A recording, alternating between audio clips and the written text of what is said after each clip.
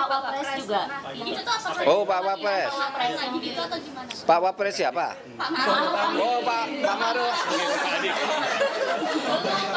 Pak Maruf Pak Maruf Amin. Saya ketemu tadi jam eh, jam setengah tujuh. Kenapa?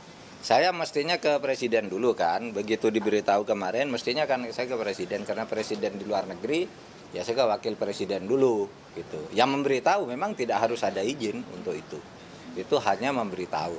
Nah kalau Pak Maruf Amin karena sedang di sini saya pamit karena sesama eh, satu perahu sesama NU.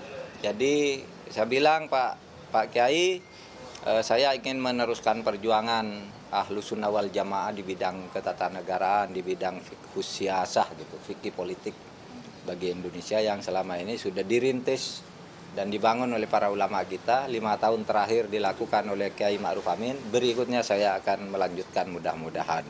Ya gitu dia memberi nasihat memang hati-hati gitu. Memerintah itu tidak mudah tantangannya banyak. Tapi dia mendoakan sebagai sesama warga NU kata Kiai Ma'ruf Amin jaga marwah NU dan alhamdulillah saya sudah ketemu beliau. Kalau presiden kan tidak ada ya.